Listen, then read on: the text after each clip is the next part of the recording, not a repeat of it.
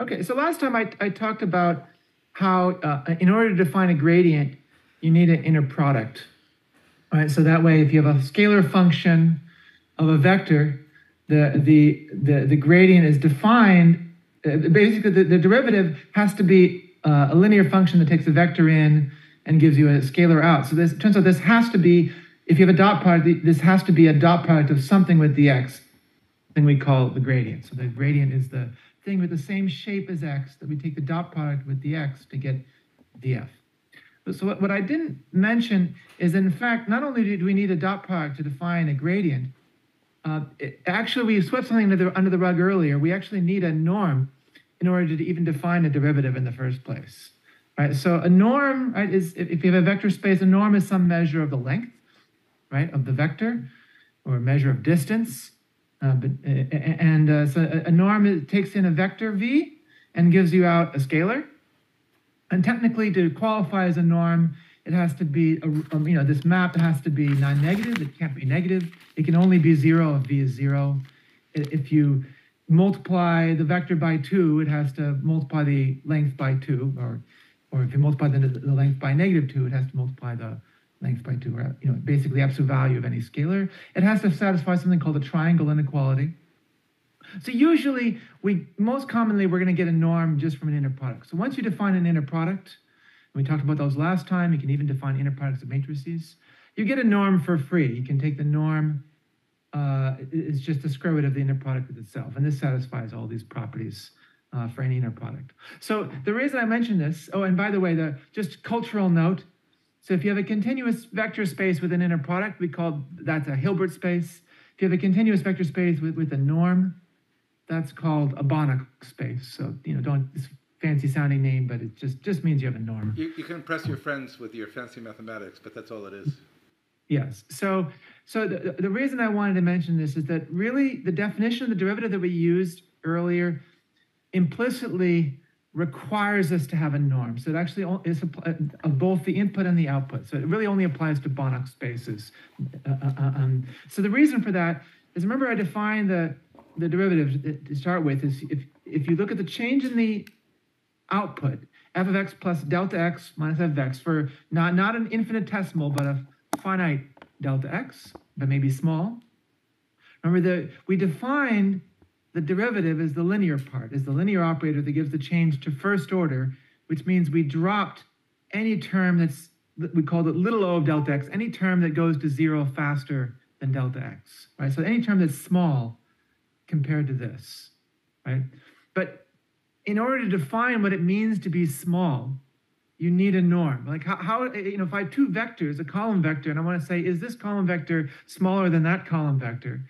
How do I check it? I, I check the length, right? That you need, you need, you need uh, to map it to a real number to get to get a, a, this, a distance or a, a, smallness, right? So formally, the, the definition of this little o dx uh, is, is basically any function such that the norm of this over the norm of delta x goes to zero as delta x gets to even goes to zero. In fact, even to define a limit, you need a norm of delta x because you know if you've taken the a to 100, there's this epsilon delta meaning of a norm of a, of a limit. Sorry, so it's, it's like the this, this you can make this arbitrarily small for you know you can make this less than equal to epsilon for all epsilon greater than zero uh, you, I mean, I'm not going to go through the definition. If you've seen the definition of a limit, there's some absolute values in there that for vector spaces have to turn into norms. But basically, my, it's just.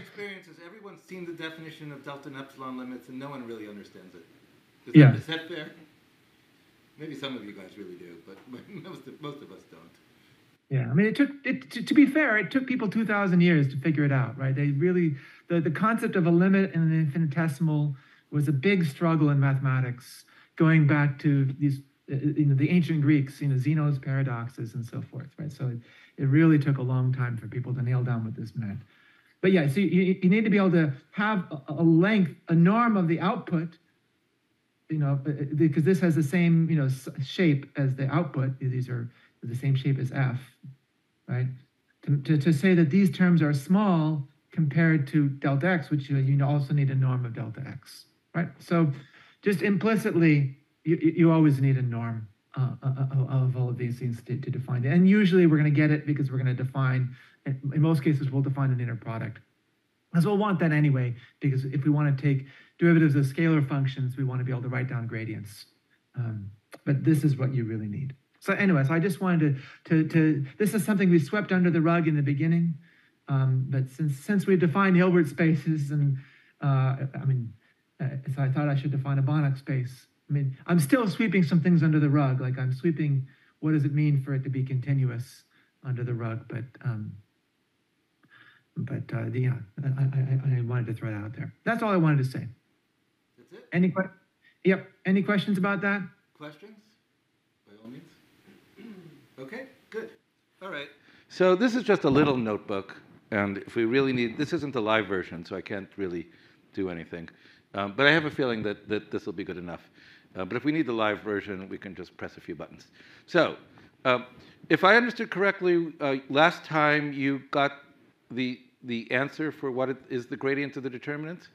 Is that right? Did you derive this formula that it? I did not derive it. I just gave the answer. I, You gave the answer, and there's a few different formats. Did you? Did you? I gave it the first one, determinant A, It's the uh, times. A inverse transpose. Yeah.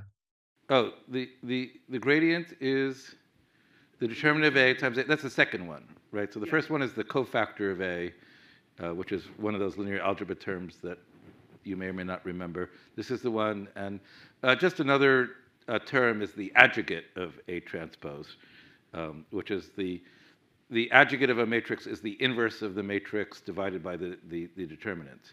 So. Uh, Multiple by the determinant. uh, multiplied by the determinant, right? So it, it's it's so uh, let's see, and um, of course, if you have the gradient, then did you write down this version as well last time? The the d of the determinant. No, uh, well, y- uh, y- y- I did, D of any matrix function. So yes, it's that.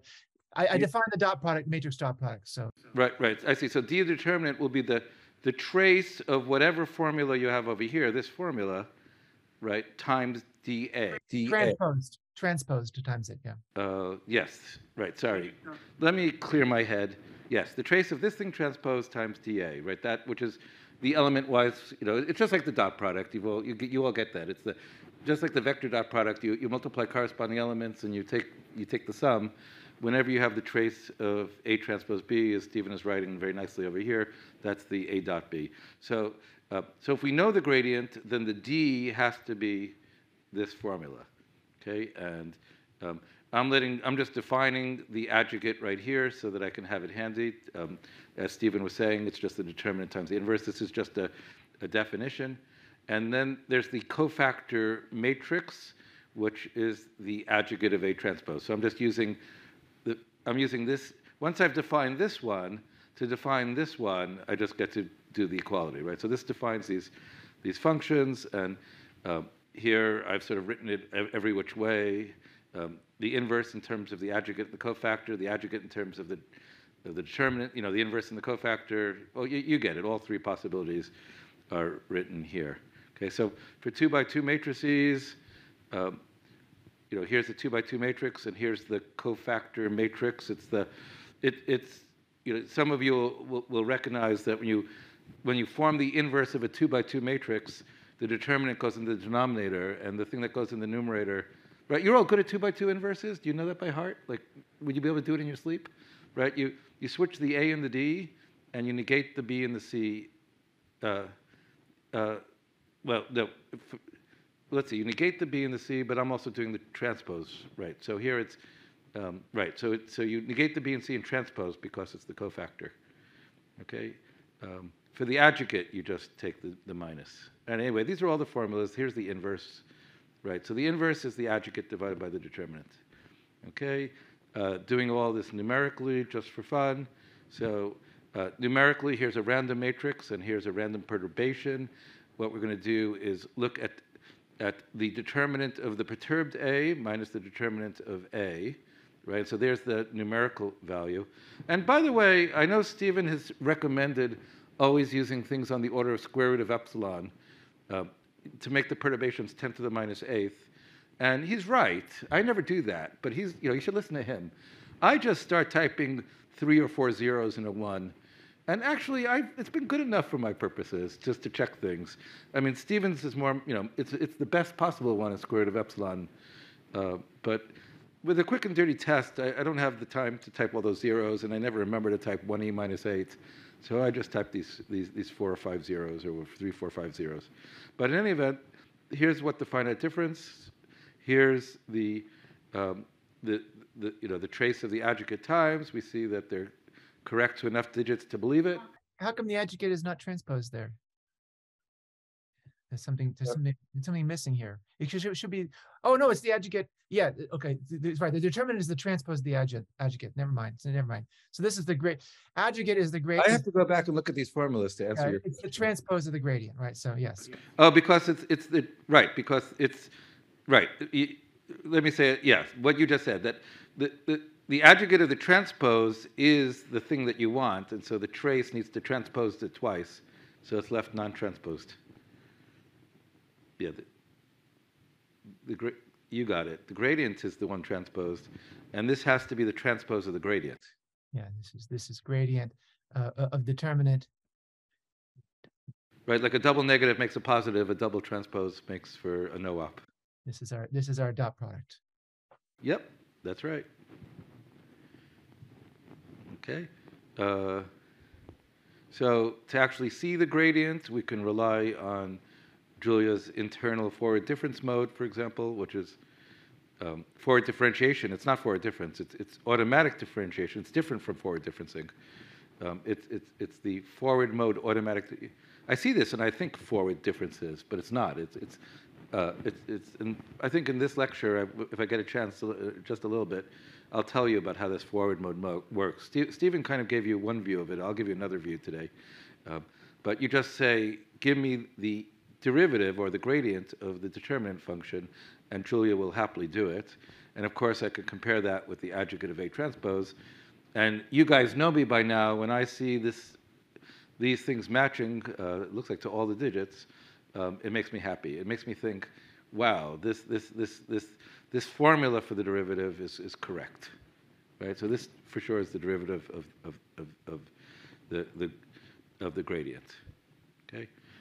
I, I don't know, maybe I tried to say this before, but I'm just going to repeat it if, if you've heard me say it. But just philosophically, I find it remarkable that you could think of a limit of a finite difference and like the great mathematical gods let us have a formula for i mean you know you've all done it in calculus like the difference of a you take a sine and a little bit more sine you get a cosine right or you know the log you get 1 over x or x squared you get 2x but like I don't know. Could you guys imagine a universe where like the, the, mathematical gods weren't kind enough that like not every integral could be written as as a formula, right? I mean that, as you know, lots of integrals can't be written in terms of elementary functions, but right. But derivatives are you could always do it, right? And you could do it for scalar calculus. That's why calculus is so easy to teach and is, is a beginning subject. You could do it for vector calculus, and you could do it for for these complicated matrix functions. I don't know. Did, do you ever stop and think about that being remarkable? Or you just take it as a given and, and move on with your lives?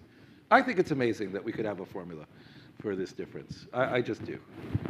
That, and, a, and a simple formula, in effect. Uh, but you know, maybe, maybe you guys just take it as, as a granted given. But I don't know. I think formulas are gifts from the gods, and I don't, I don't, I don't take them for granted. All right. Uh, so uh, just to, this is really just to show you how to do reverse mode in Julia. Um, so it's, it's, it's not much different.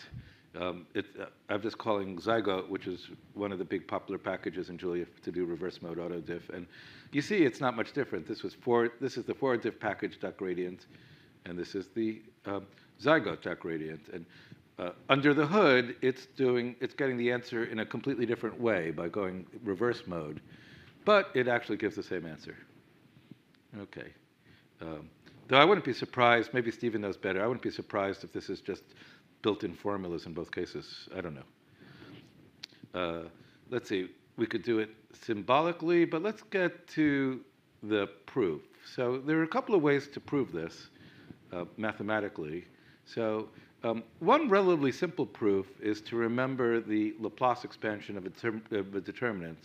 So I, I, I, suspect you all remember that if you want to calculate the determinant of a big matrix, uh, usually people take maybe the first row, but in fact you could take any row. But do you remember you take the, the first, the, the top left entry times the determinant of, of, of the, you know, what happens if you cross out the first row and first column, then the second entry and you cross out that row and column with a minus sign, plus, minus, plus, minus. You remember that rule? So that, that, that's Laplace's, that's the Laplace expansion. And uh, the key fact is that uh, if, for example, if I'm working with AI1, let's say I'm starting with the ith row, then AI1 is not inside any of these C's, right? It's AI1 only appears here, right? Everything else you see depends on other elements of the matrix, but it doesn't depend on AI1, right? Similarly, if you look at AI2, CI2 and every, every other term only depends on AI2. And uh, just to make that point very clear, uh, here what I did was I took this matrix and I made this matrix, uh, this 3 by 3 matrix, you'll see it, it's almost completely numerical, but I put one symbol in the bottom right.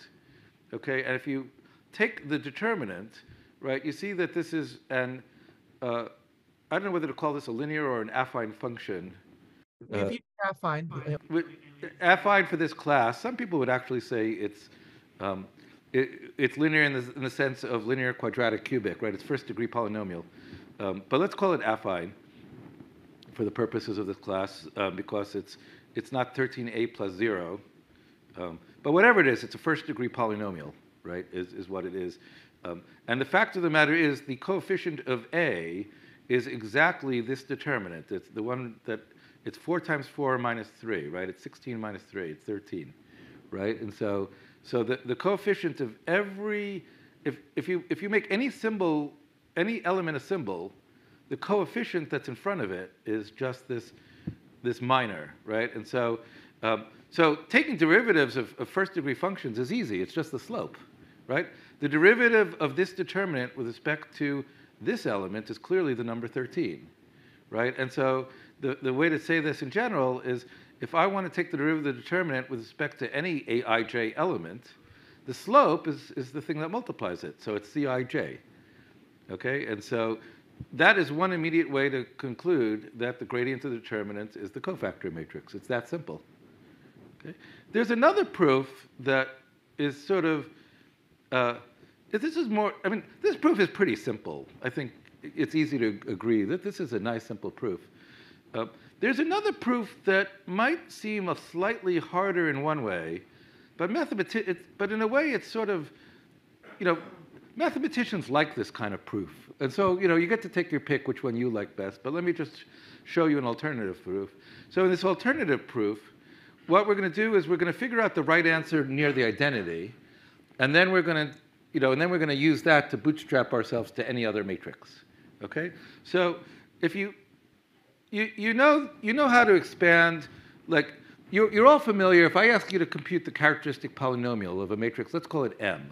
Right? If I need to do the characteristic, here, I'll, I'll do what Steven does, and I'll do it like this. So if anybody asked you to calculate uh, the characteristic polynomial, and I'm using the mouse, which means that it's really sloppy. Not that my handwriting's so great, but it's not this bad. All right.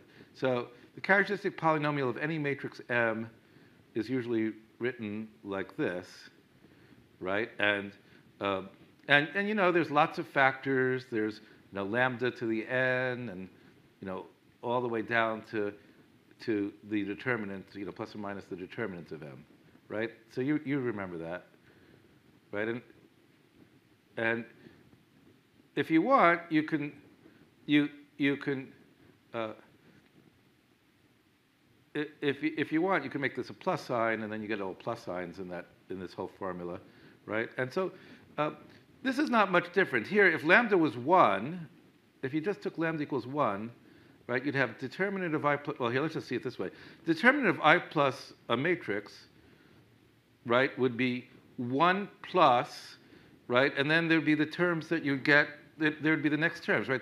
This thing here, as you all know, is the trace of the matrix, right? So maybe I should have put that in. You get lambda to the n plus lambda to the n minus 1 times the trace of the matrix, right? So that's, so if you make a tiny little perturbation, uh, you know, the determinant of i plus dA, I guess I should have made this 1 plus the trace of dA, to be honest. Let's fix that right now, right? So the determinant of i plus dA would be 1, that would be like 1 to the n, plus 1 to the n minus 1 times the trace of the matrix, right? And then there are the lower order terms, right? So, um, uh, so that's one way to think of it. And so there, there we immediately get, you know, the answer around the identity. And now if we want to get this anywhere, all we have to do is recognize that if we want to go the determinant of A plus dA, then we just go A times A inverse over here. That's just the identity. But then we can use the properties of, of determinants to pull out the determinant of A, and you just get I plus A inverse dA, right? And um, and and so uh, uh, and this basically here here we just think of this A inverse dA as as the trace formula, right? And therefore we get our answer, right? The, the very answer we're looking for. In a way, this is more complicated, but mathematicians like this one better than I don't know why. They're they're both valid. You get to take your pick. Uh, there's something I like about this, though it is a little bit more complicated. Okay, but in any event, we get the same answer. Okay, so what, what do we have here? So application to the derivative of the uh, characteristic polynomial. So, um, so uh, once again, there's the simple proof. The characteristic polynomial of a matrix is the product of x minus the eigenvalues. Probably a different sign from what I had here. You take the derivative of this product, you get the sum of these products n minus 1 at a time, which you could rewrite like this. But you can also directly do, with our, with our technology, you can do this and uh, get basically the same answer as the direct proof. Okay, and then I have some numerical checks. Uh, let's see, and the derivative of the log determinant. Log of determinant comes up a lot. Um, logs of lots of functions come up a lot. For example, Steven, about, I don't know, a few lectures ago talked about uh, this f over f prime. It's what shows up whenever you do anybody's Newton's method, right? And of course, this could be written as 1 over the, the log f prime, right? So the, basically the logarithmic derivative and its reciprocal come up all over mathematics. So uh, the derivative of the log of the determinant is, uh, is simply the trace of the inverse times the, the dA. Okay, this you've seen, A inverse, and that's it. Okay. Any questions? That, that, that basically covers the uh, gradient of the determinants. Any questions about that? So maybe a few words about determinant. Interestingly enough, people often tell you that you should never uh, compute a determinant, or hardly ever might be a fair term. So determinants are, are, are real, you know, it's a real favorite of elementary linear algebra classes, right? Determinants are great for telling you in exact arithmetic whether a matrix is singular or not, right? So a matrix has determinant zero, it's singular. If the determinant is not zero, it's not. And um, you know, and, and that sounds like a really good idea to have something like that. But it turns out that uh, when you're doing when you when you're doing computations in finite precision, if you're doing it on a computer, uh, the determinant turns out to be not so meaningful. It gets to be hard to compute accurately. There are a lot of issues with calculating the determinant. It turns out that while the pure mathematicians live in a binary world where a matrix is singular or non-singular, the truth of the matter is, is that the world of, of, of matrices is, is not so binary. It's, it's a bit more of a, of a spectrum where matrices are, are singular or nearly singular or a little bit bad or not, you know, or, or, or, or not at all bad. And probably you've all heard the word that I'm, I'm referring to. It's, the word that we use in numerical analysis is, is conditioning.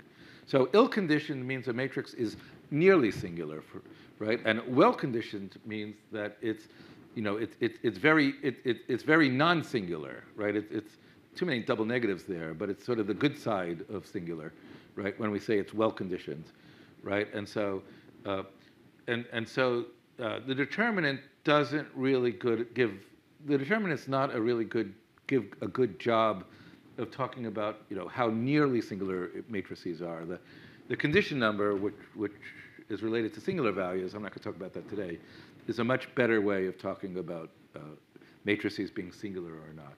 So, you know, you learned it all in, in, in, a course like 1806 or elementary linear algebra. You learned about determinants. And then later on, when you compute, people tell you to forget about determinants, right? Mostly. There are times, but mostly. Okay, so that, uh, And the other thing we tell people to do is forget about the characteristic polynomial as well. That's, that's not how we calculate eigenvalues either. We don't take roots of polynomials. Anybody happen to know how we compute eigenvalues in the real world? We don't, we don't do characteristic polynomials. Anybody know the magic two letters that, that, that, that happen when you type eigenvalues? Do you, how many of you just thought it was the characteristic polynomial? You take the roots. How many, how many of you had any idea how roots got taken on a eigenvalues got taken on a computer? So you have any idea what, what the algorithm is being used?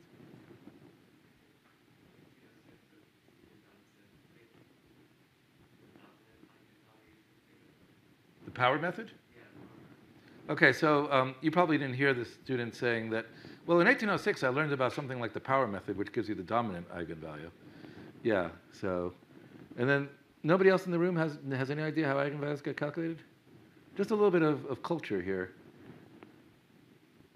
So, ah, people don't know. I see. I kind of felt like I ruined the question then. I should have just asked, how are eigenvalues computed? Because I imagine many of you would have said, isn't it the characteristic polynomial? You get the roots? Because every one of you have formed the characteristic polynomials of two by two matrices, and, and I know you have, right? You got that quadratic equation, and you solve for the roots. I know, you, you remember, who remembers doing that? Right? Quadratics, you get the roots. You know, if, if you had a mean teacher, maybe they forced you to do a cubic, but I bet they didn't. Anyone ever do it for a cubic? Maybe it was rigged to, to be easy, though. You know, that the, the so right. So none of that happens on the computer. I'm not going to tell you uh, in detail how it's done, but I will will mention just the fact that it's not the characteristic polynomial is, is, is, half of what I want you to know, and the other half is there's something called um, the QR algorithm for eigenvalues. So, so in general, a QR for a matrix factors a matrix to orthogonal times upper triangular. And a funny thing happens if you factor a matrix into QR and then reverse it and get RQ. Um, and if you do that again, factor that new matrix into QR and reverse it to RQ, and you keep doing that, essentially the eigenvalues magically appear, right? And there are some details. If the matrix is symmetric, the matrix will actually become more and more diagonal as you go. Um, if it's non-symmetric, um, but it has real eigenvalues, it'll become triangular, and you'll see the diagonals, the, the eigenvalues on the diagonal eventually. And if it's complex, you'll get these little two by two pieces, which are easy to get the eigenvalues from. So um, there are a bunch of tricks to accelerate all this, but the basic idea is QR, RQ, QR, RQ. You might actually try it in Julia or, or Python or whatever, MATLAB, whatever you like to do one day. You'll see it just works. But it, it is related to the power method under the hood, if you if you dig deep. Oh, dig really deep. That's right.